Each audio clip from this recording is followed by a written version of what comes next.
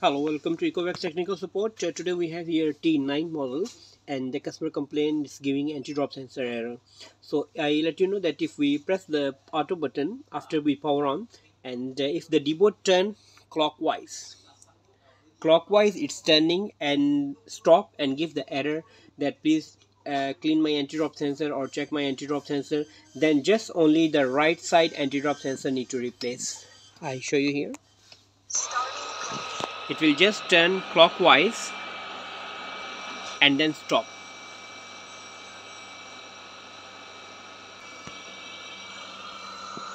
So it's just turn clockwise and will stop.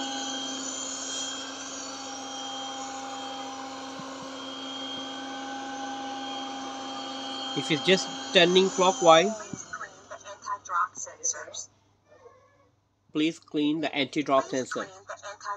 So it means just only the red left side anti-drop sensors need to replace.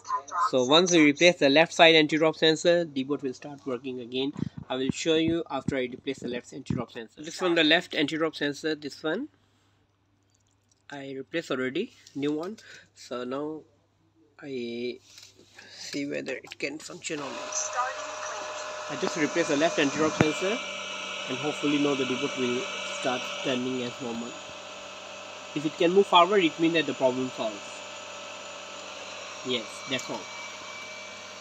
Before that it was turning clockwise, I show you in the video. But now after I just replace uh, the left anti-drop sensor, now the Deebot will start moving forward as normal. So hopefully you like this video. Thanks for watching this video. Thank you very much. And don't forget to subscribe my channel.